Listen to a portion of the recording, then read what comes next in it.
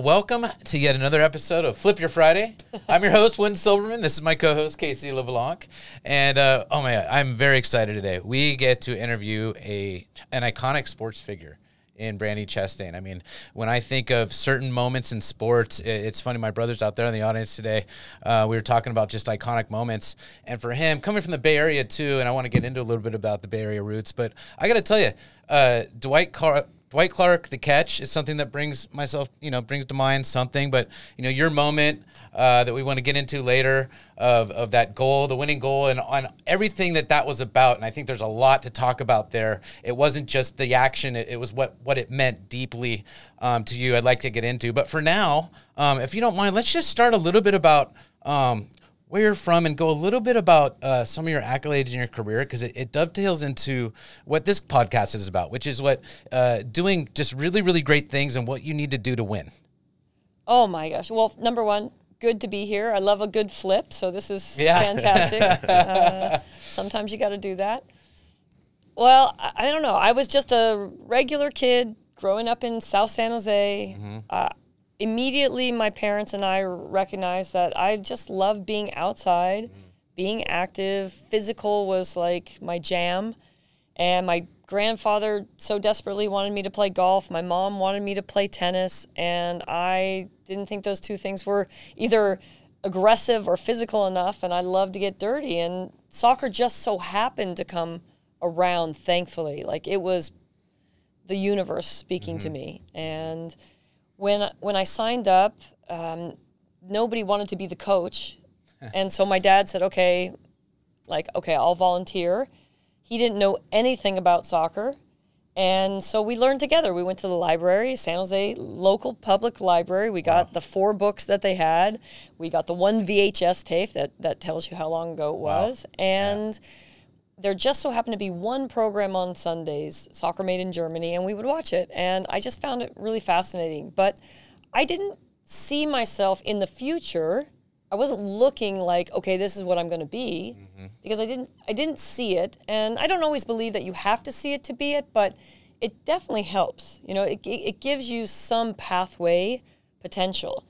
Um, but I think you know, there's pathways out there that that you know you're going to forge you the listener us yeah. you know here in this room today that you can't see and you're just going to have to trust your gut your instincts and you're going to go for it um, and that's what, kind of what i learned uh, as we went along this journey and luckily for me we had the san jose earthquakes sure. playing at san jose state yeah. uh, at spartan stadium and that place became kind of my refuge to like like I could feel my soul just like getting full, right? Mm. And yet I still thought I would be an NFL player because that's what my dad watched on television and sure. I saw that and I like football. So I thought I'm going to do that.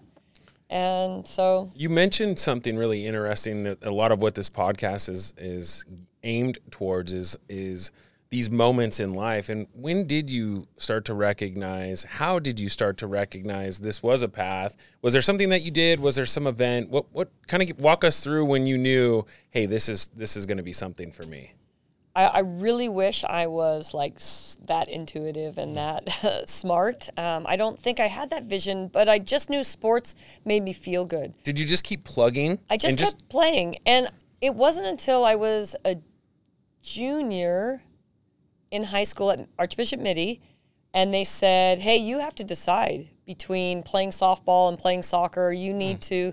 if you want to keep going in college and i was like I, am not deciding i love playing like yeah. why do i have to do that i just want to be an athlete and have fun i just you know exactly and so it kind of came to that time and i was like uh, well it's definitely soccer i mean i love i, I really enjoyed softball but I, I knew soccer was my thing and I mean, if you think back to it, I mean, right now, this is the 50th anniversary of Title IX. This is a big year. Um, and so, even though we've been 50 years post 1972, I really feel like this is the jumping off point.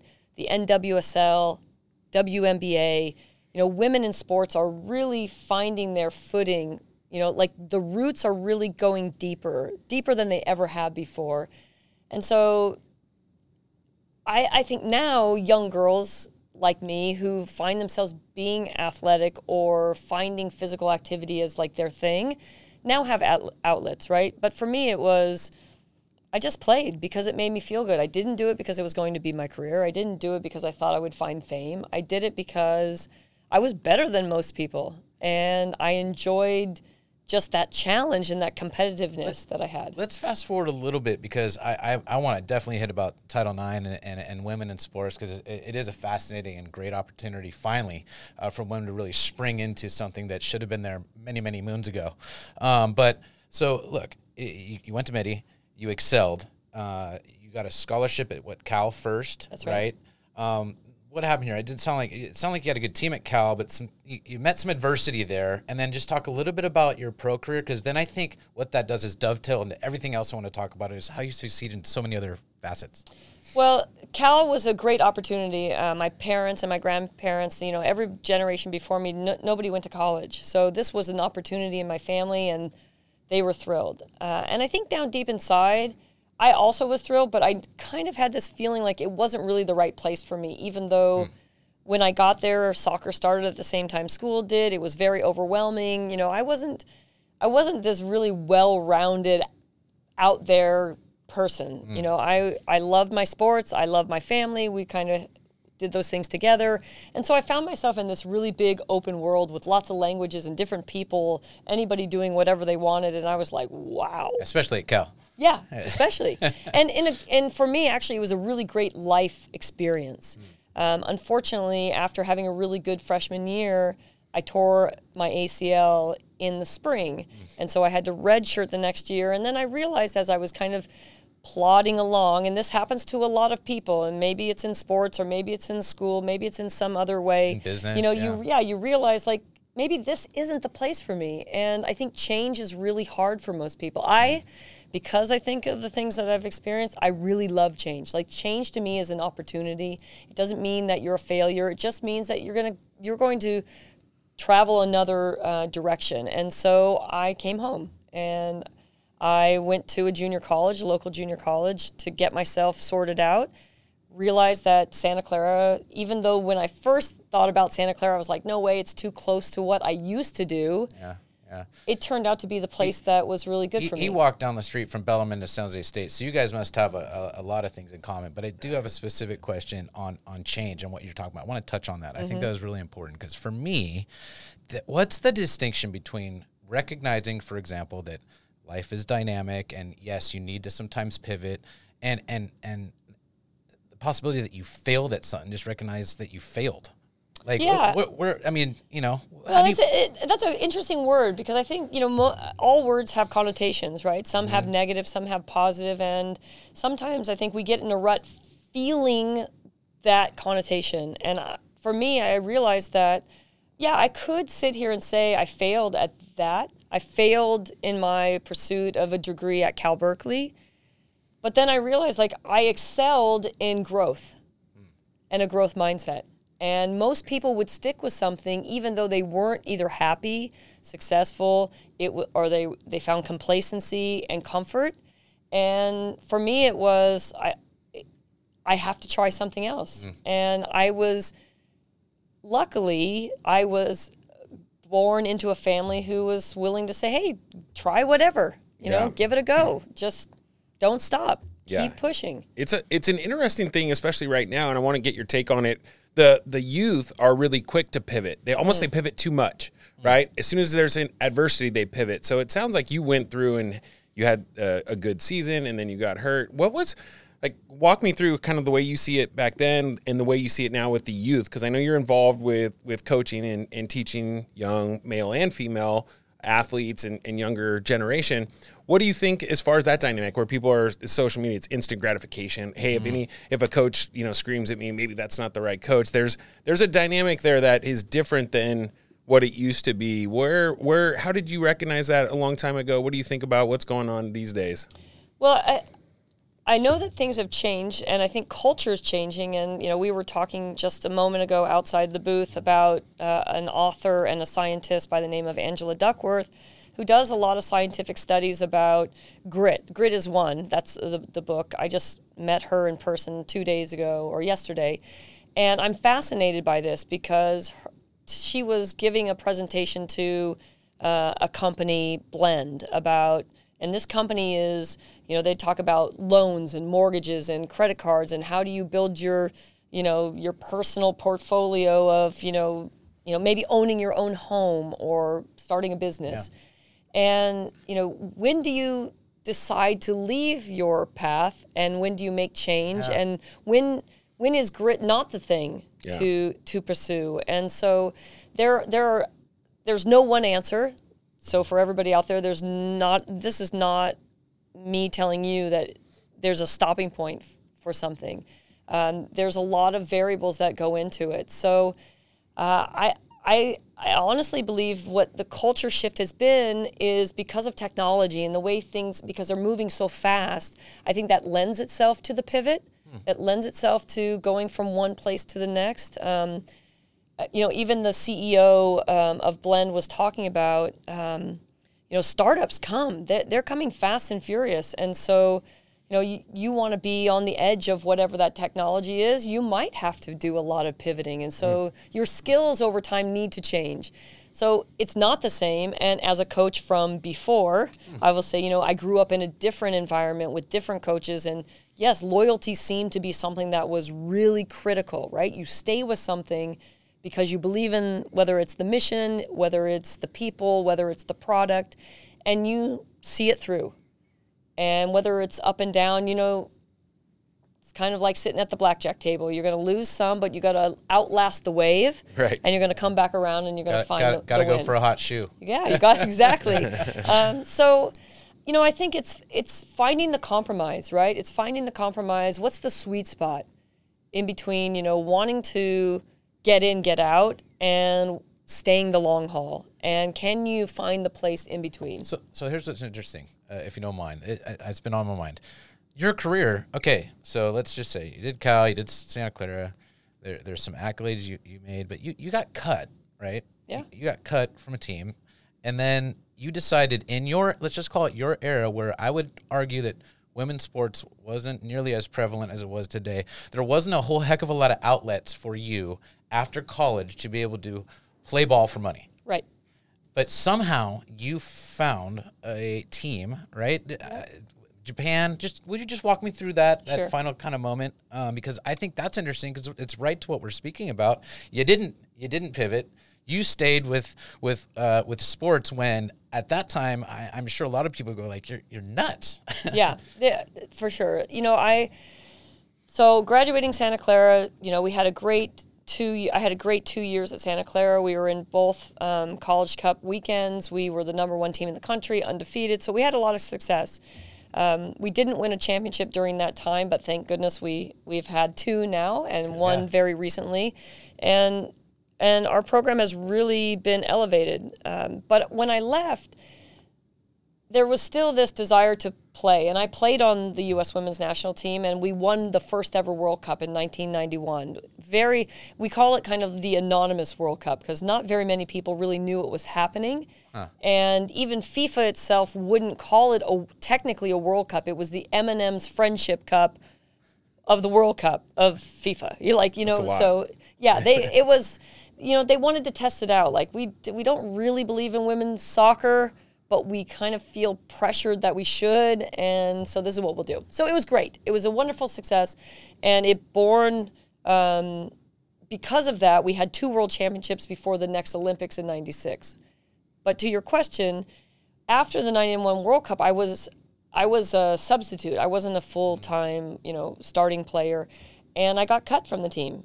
The, the coach decided to bring in some other younger players that were playing in college. Like you said, I had exhausted my um, my collegiate, you know, years, and so I was playing in like an amateurish post college league. Mm-hmm. And someone brought, presented this, said, "Hey, there's a women's professional league in Japan starting. What do you think about that?" And I love travel. I love going new places. I've always been enamored by different languages and different culture. And I said, I'm interested in that. Yeah. And so I was the I was a full time assistant at Santa Clara to my husband, um, at, not at the time, but husband now. And I had to make a choice. And I said, you know what? I still want to play. I believe I, I still should be on the national team. And so I went to Japan. And it was the best life experience. I would say to any athlete, any student, if you have a chance to go and live in someone else's shoes for for more than a two week vacation. Yeah, yes. go. Yeah. Go and immerse yourself and get it wrong and you know learn some new words and travel on yeah. public transportation and it, it was phenomenal. It it really shaped it really spoke to the player I wanted to be uh, their style of play, the graciousness of their culture, the kindness.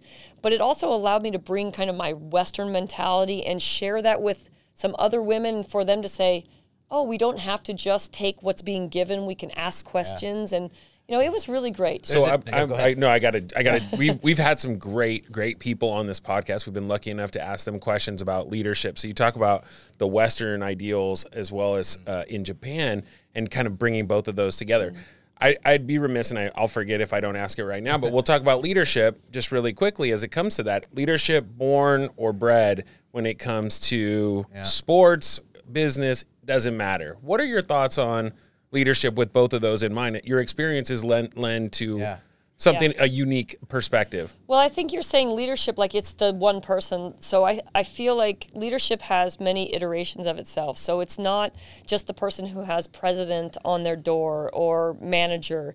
It really leadership belongs to everybody and to me, le- leadership has a little bit of a synonymous nature with advocacy, right? And allyship. And so it really exists everywhere.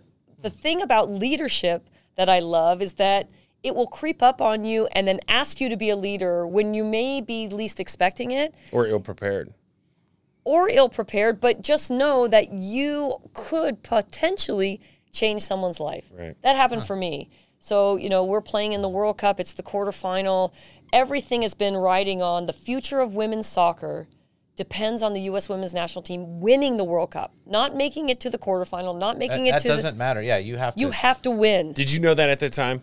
Yes. Okay, so At you're aware. Time, yes, very aware because every single media outlet was. There's always the naysayer who's like, you know, this nobody cares. Nobody cares. It's going to be M&M's uh, side cut. Whatever, yeah, whatever. you know, nobody cares about women's soccer. Why do you think this is going to be any different? What's going to be the lasting impression? And you know, y- you probably need to win. And so that was in the back of our heads. But luckily, we were doing some work with a sports psychologist about control the controllables. You know, you're only in charge of the things that you, you know, you have to use your tools in your toolbox. Don't get out, just don't get too far away from what it is you know you need to do. So we had we're really lucky in that way. That's but great. six minutes into the quarterfinal, Germany plays the ball between the center back and myself. And as it's flying over our head, I look to see where the nearest opponent was, and I in my head, I'm like immediately like, I got this. I'm closer. I, I'll beat her to the ball. It's not going to be a big deal. But we're playing in, at the time, it was Jack Kent Cooke Stadium. Now I think maybe FedEx Stadium for the Washington yeah. Commanders. Commanders. Yeah. And that stadium is right on top of you. It's very loud, and it was very hard to communicate. And I didn't, neither did the goalkeeper. I passed it. It went past her and into the goal. Ugh. And now we're down 1 0 in the quarterfinal and the future of women's soccer. Not just my future, but every generation of young girl after that. And that's probably a collective feeling through your teammates. Like uh, all you yeah, guys are probably. I mean, I wasn't looking at anybody at that moment, yeah, right? Yeah, yeah, so well, probably not. If you're saying stay in the moment, you know, you're probably trained, you're, or at least you're trying you to block a, all that's that a, out. That's a big problem. So yeah, what happens? It, it was a big deal. So, like to your question about leadership, like even though Carla Overbeck was our captain technically, you know what she didn't know that morning was she was going to really have to come to the aid of one of her teammates in a way that never it rarely happens right? Own goals rarely happen. yeah that's that's rough. And so and especially at this in this game. So she came right over she clapped her hands like she does and i looked up and i knew it was her and she said don't worry about it.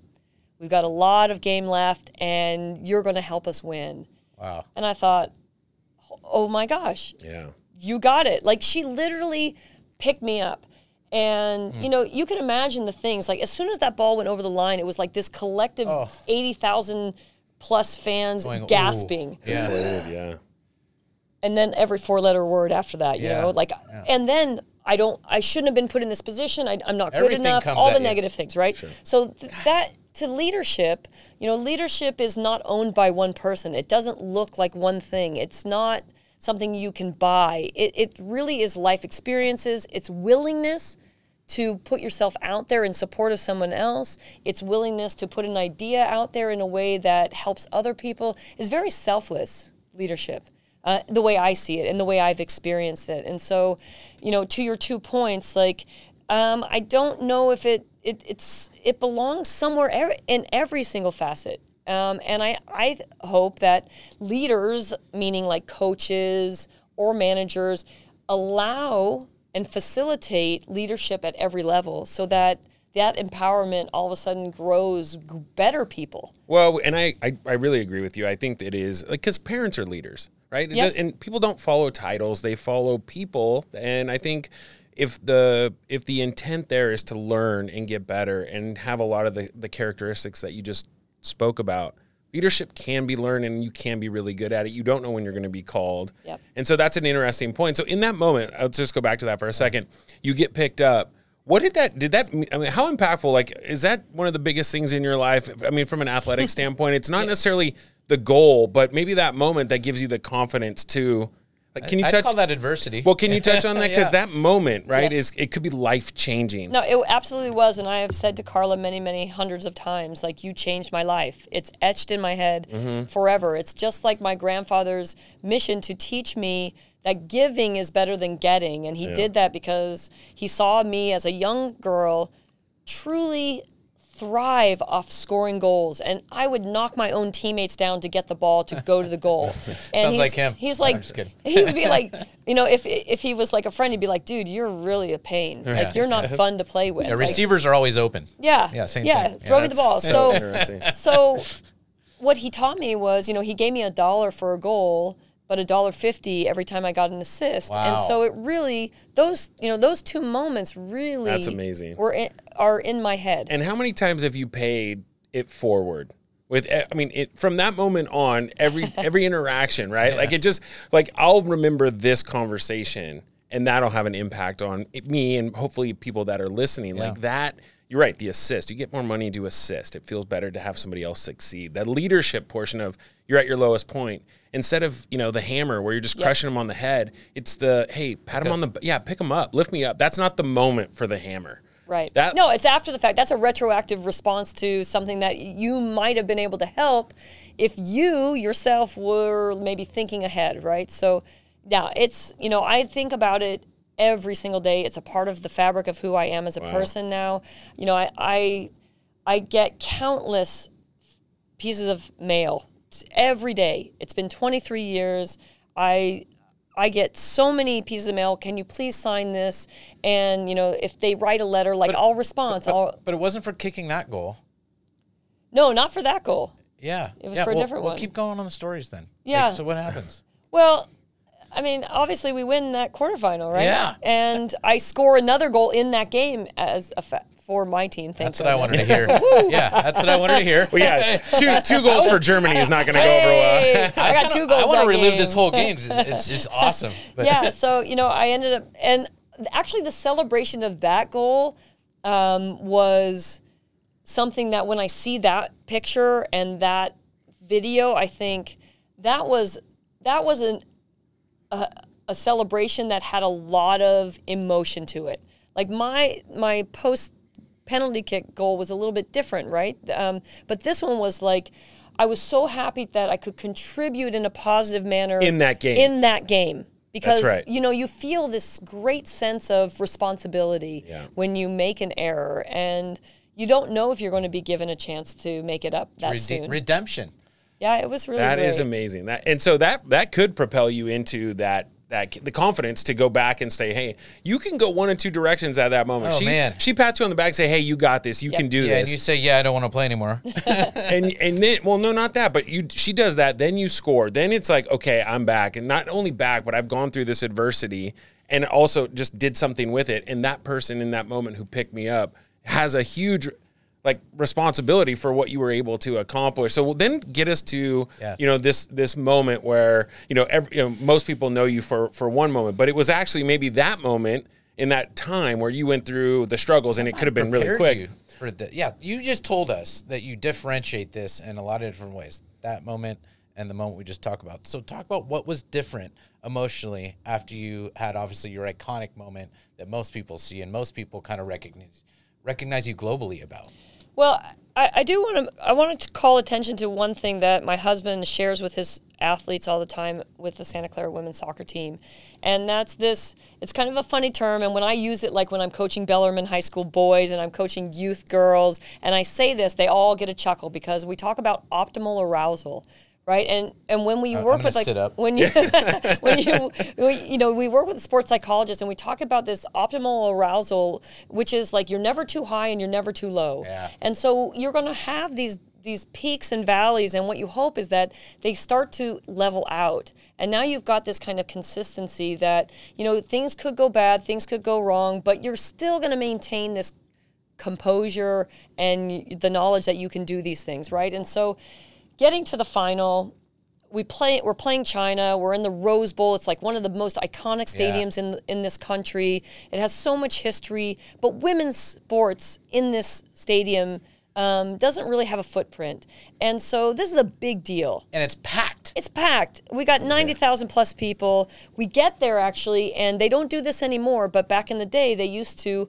hold the third, fourth place game right before the final. So we get there, and now Brazil is playing Norway, and now we don't get to warm up on the field. So it's your uh, biggest game uh, of in your life. It's the future of women's soccer is yeah, you know it, hanging in the balance, yeah. and now you don't get to warm up on the field. Now what do you do? So our our the arc of our story is so phenomenal because it's not what you planned.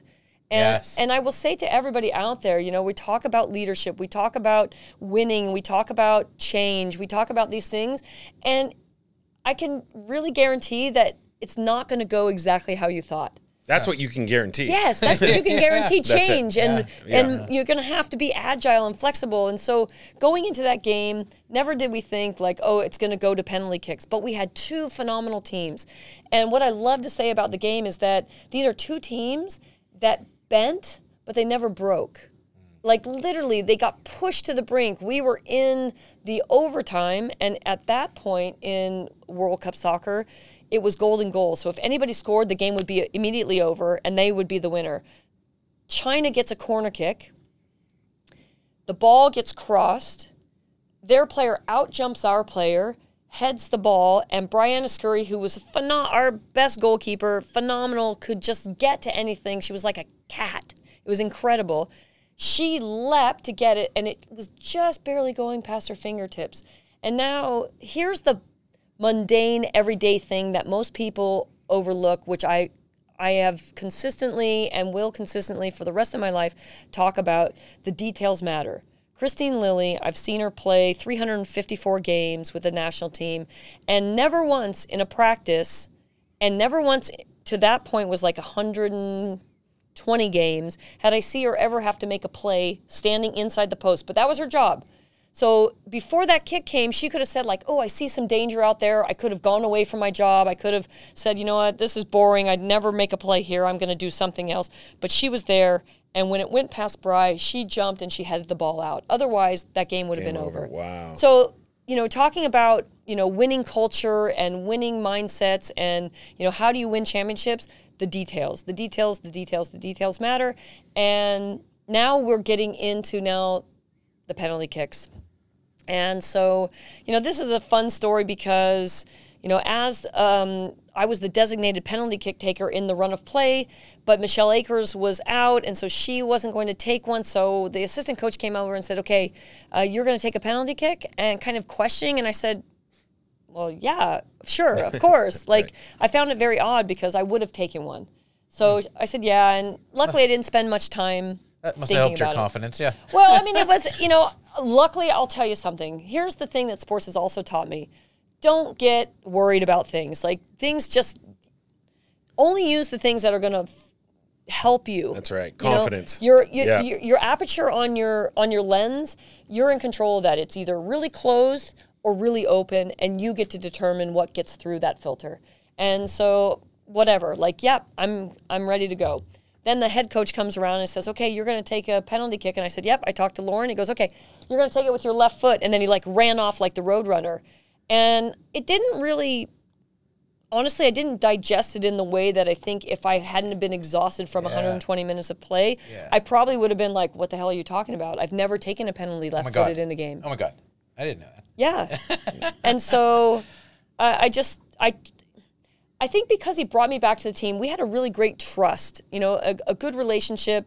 He could say something to me, you got to do this, maybe do that better, what, whatever. Have you ever have you ever asked him about this? Like, hey, right in the middle of, have you ever had the conversation like, because you're going, wait, what? Yeah. like um, in that moment, and then you just do it, right? Just same thing. The lens, you're like, hey, this is my coach. He probably yeah. knows.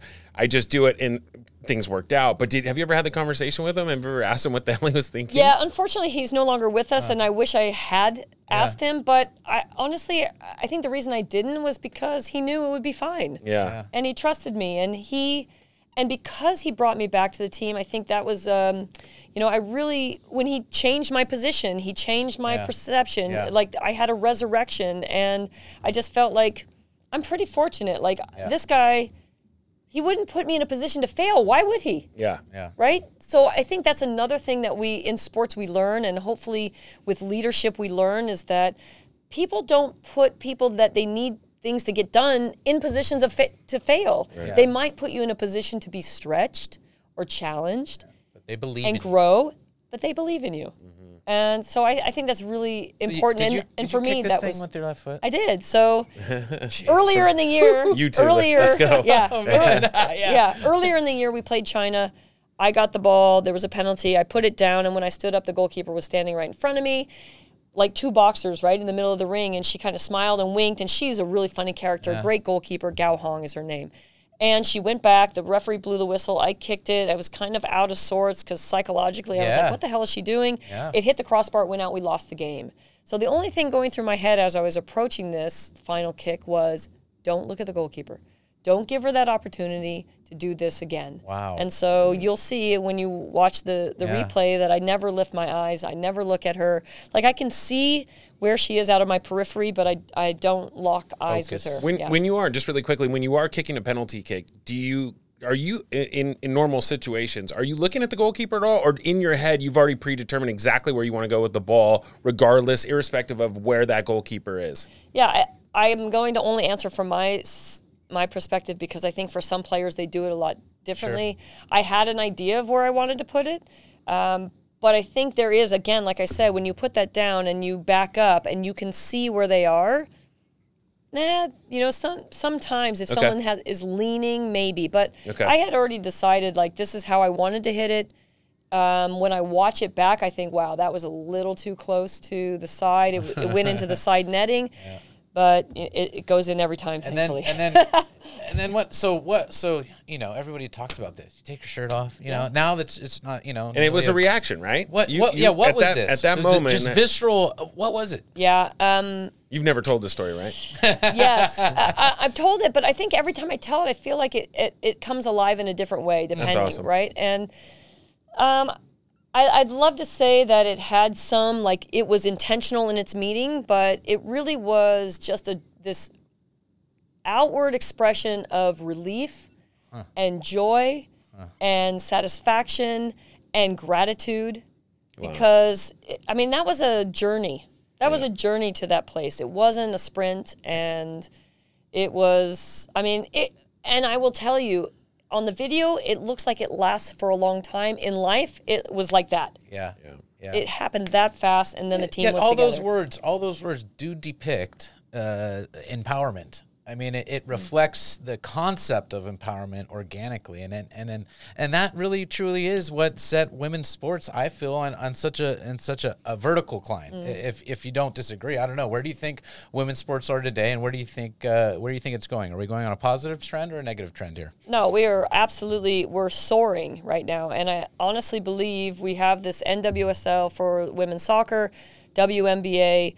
Uh, we talked earlier yeah. at the beginning about this is the 50th anniversary of Title IX. I honestly, be, be, I feel this is the jumping off point. This is really what Title IX was trying to do in the awareness, in the um, facilitation, the visibility, uh, the value of women in sports, and the power that they have outside of the lines of whether it's the basketball court, sure. the football field, the swimming pool, you know, the tennis, whatever it is.